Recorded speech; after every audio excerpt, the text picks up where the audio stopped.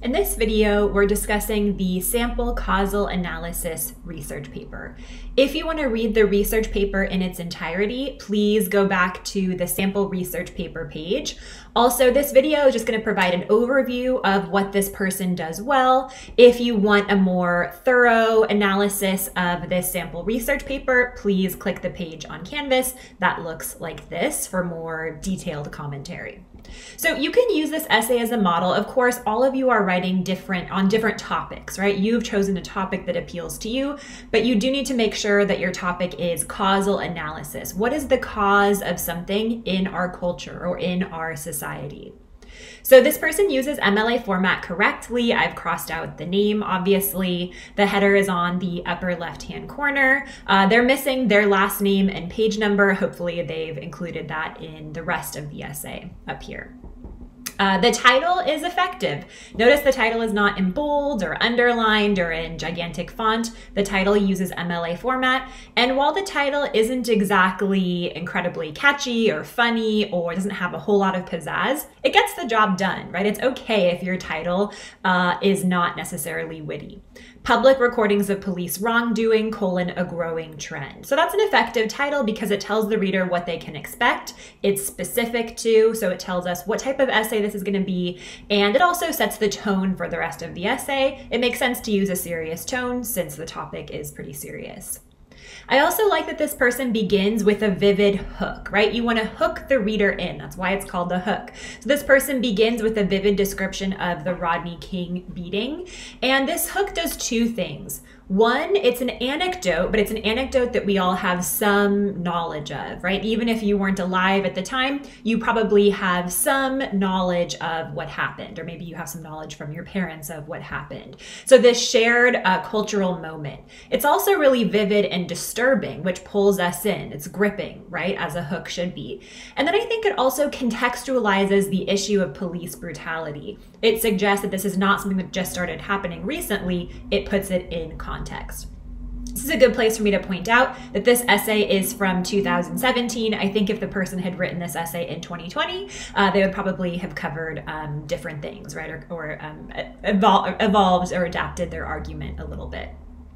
Let's look at the thesis. While the issues of police brutality can arguably be traced back to the beginning of the police force, it was this first viral video, that's the video of the Rodney King beating, that sparked public outrage on the issue of police brutality and its relation to race, prompting the public to take matters into their own hands and cultivate an awareness for these issues through an ever growing and valuable tool, a video recording device. So I like the fact that this person transitions really nicely from the hook into the thesis. Now, take matters into their own hands and cultivate an awareness is kind of vague. It almost sounds like a platitude or a cliche that could be made more precise. But this thesis is effective because I can see the trend, I can see the cause, and I can see the so what or the ramifications, right? The increased filming of police encounters made, has made people more aware and more outraged. It's also really important that your thesis is debatable. That means that your causal analysis has to be something that a reasonable person who studied the issue might say, no, I think it's a little bit different, or I disagree, or I totally disagree with your argument, right? So a reasonable person could say, well, actually, it's not the video recording device uh, that has increased this awareness. Uh, it's actually social media. Now, this writer does talk about social media later on in the essay too.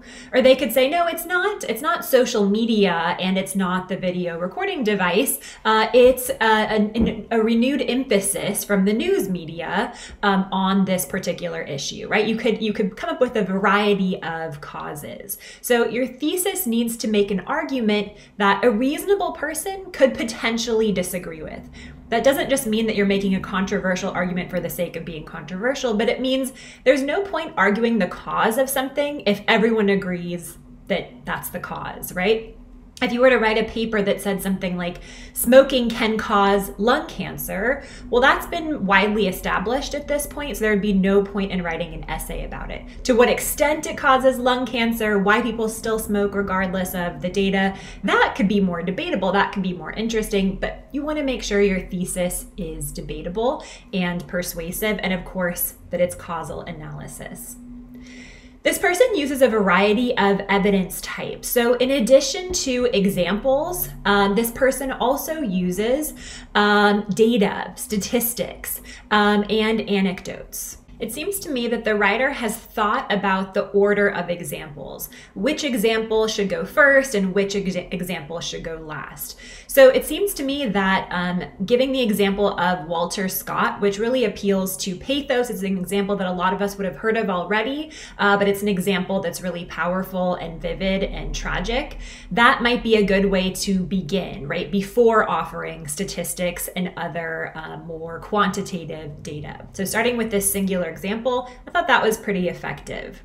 I also like how the writer includes transitions between paragraphs that I barely even notice. So you should be doing the hard work of ordering your ideas and ordering your paragraphs and your examples in some sort of way that makes logical sense. Maybe that's emphatic order, saving your best example or most powerful example for last. Maybe that's chronological order or some other ordering technique. Uh, when you use transition phrase, transitional phrases or transitional words, or when your order of ideas just makes sense, I shouldn't even notice transition transitions, they should just be so seamlessly integrated. The writer cites even paraphrased material. It's important when you get information from another source. If it doesn't come from your own brain, but you put it in your own words, you still have to use a parenthetical citation and you still have to cite the source in your works cited page. This writer uses headers. You don't have to use headers for this essay. In fact, I don't even recommend that you use headers for this essay. I know it might seem like a long essay, but technically it's not a long essay, so it doesn't need headers. If you want to use headers, that's fine, but please don't use any sneaky tricks like making them gigantic or adding extra spaces to make your page count longer, obviously. Um, in a later paragraph, the author brings in statistics from a reliable research institution. So many of us will have heard of the Pew Research Center, a nonpartisan research center or think tank. That helps appeal to logos and it helps establish the writer's ethos. Some of the assumptions in the paragraphs do need a little bit more backing, some support. Uh, so you've noticed where I've annotated for that go a little bit farther down. Um, so for the essay, I'm asking that you plant a naysayer. This writer includes some naysayer sentences or begins some sentences with words like although and then references the other point of view, but there's not a naysayer paragraph. I recommend I don't require, but I recommend that you devote an entire paragraph to planting a naysayer, either a naysayer who would disagree with your overall argument or a naysayer who would disagree with one component of your argument. That will give your essay more credibility. So, this would have been a good place for the writer to talk about if there are any situations in which live streaming police brutality can be harmful, right? Address that other point of view. This is where you might want to go back and review Toulmin and Rogerian models of argument. Later on, the writer includes an imagined scenario. Remember, you want to use a variety of evidence types. So in addition to statistics, in addition to, addition to quotations from scholars, uh, in addition to anecdotes, including an imagined scenario, as long as it's a reasonable imagined scenario and you explain your logic and you tie it back into the thesis, can be really effective.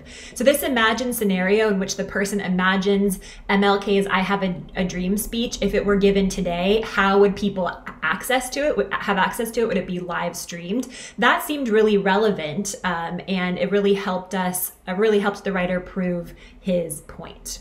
Also, giving examples of speedy mobilization on social media, giving specific examples of when a hashtag has made people um, protest in the streets hours later, right? When people have mobilized really quickly, that would help um, give this paragraph a little bit more specificity and support because there are plenty of examples.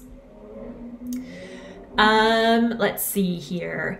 Uh, when we get to the end, there are a few cliches and platitudes, and it's hard. It's really hard to write an essay without falling into some cliches. These are tired or um, overused phrases, or platitudes. These are kind of um, concepts or ideas that have been stated so many times that they just are meaningless. Um, so it's important that you go through your essay and look for cliches like take matters into their own hands or at the end of the day, something like that, and you make them more precise. I always like it when I'm reading a student's essay and I think, wait a minute, they need to support that. I need more on this. This assumption needs some backing. And then the very next sentence does exactly that. So this happened to me when I was reading this paragraph. The writer says, This, of course, has led to the public decline of trust of police officers, which in turn prompts skeptical citizen, citizens to use their cell phone features to showcase the truth. So I was thinking, well, wait a minute. We need some data. We need a poll or we need a survey about Americans' reaction to police brutality, or we need some uh, proof that support of police officers is eroding, right? I don't know that that's necessarily true unless I have some sort of data this writer anticipates that and uh, gives us a source. According to Gallup, confidence in police is currently the lowest it has been in 22 years in America. So there are some statistics here. They could use more analysis and more context. You can go back and look at my lecture about evidence types, uh, where I talk about how uh, some strategies for interpreting um, statistics and data and percentages. But this person does a good job of anticipating any objection that I might raise to the argument and bringing in some evidence.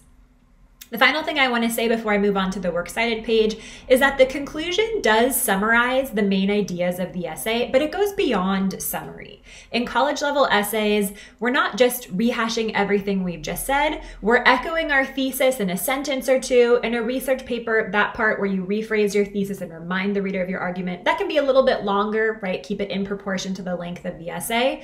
But you also want to end with memorable closing words, right? You can connect your topic to a larger social, political, intellectual, cultural, or economic issue, right? Spice.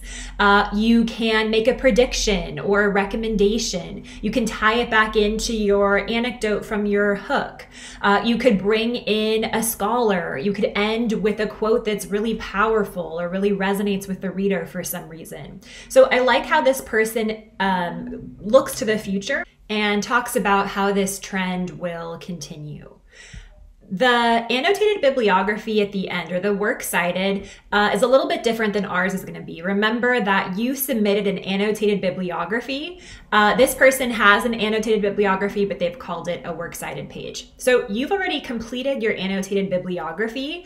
All you have to do for your works cited page is take out the paragraphs that you've written under each entry, and then, of course, make sure you update it. If there's a source that you didn't end up using, remove it. Um, and if there are additional sources that you added, obviously make sure you add those in as well. Make sure you use MLA format, use the hanging indent, use alphabetical order. And since you will be citing several works, you have to have six sources, your works cited will have an S, right? Because you have multiple works that you're citing. I hope that helps. Again, if you want more details about uh, what I liked about this sample paper and also what this person could improve, please make sure you take a look at the sample research paper page and read the research paper yourself.